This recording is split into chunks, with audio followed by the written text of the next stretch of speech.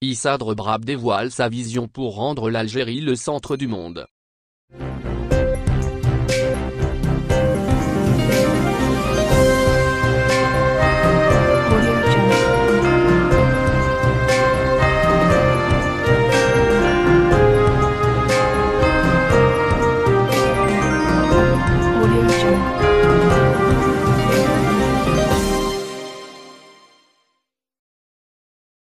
Issa Brab déclare que l'Algérie peut être le trait d'union entre les quatre continents. Découvrez la vision de l'homme d'affaires pour développer l'économie nationale. Voici tout dans cette édition du 26 octobre 2021. Issa Brab a soulevé beaucoup de sujets qui concernent l'économie et les finances, mais aussi le potentiel que possède l'Algérie pour être un point stratégique du commerce mondial, et ce, dans un entretien exclusif au journal La Patrie News, découvrez plus de détails sur les révélations de l'homme d'affaires dans les lignes suivantes. En effet, le patron de ce Vital a d'abord souligné que l'Algérie possède tous les atouts géostratégiques et de dimensionnement, et ce, par sa proximité avec l'Europe et son positionnement en Afrique. À ce propos, il a déclaré ceci, nous pouvons être le trait d'union entre les deux continents. Dans le même contexte, Issa Brab a affirmé que l'Afrique, l'Europe, l'Asie et l'Amérique se développent en même temps et nous pouvons être le centre stratégique du monde, vu la position géographique de l'Algérie. Selon l'homme d'affaires,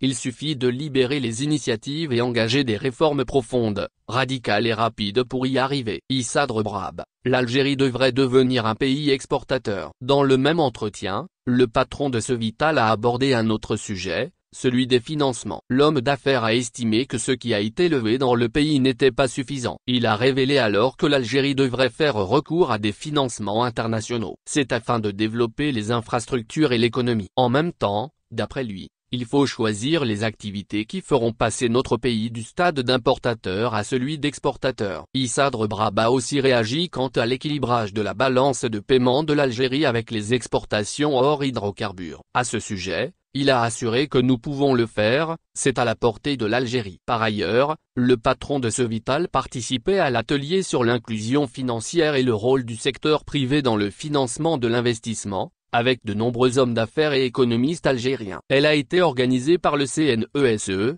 dans le but d'échanger et de dialoguer sur les expériences concrètes de financement privé, et ce, pour dégager des solutions innovantes permettant de catalyser de nouvelles ressources financières. Abonnez-vous à notre chaîne.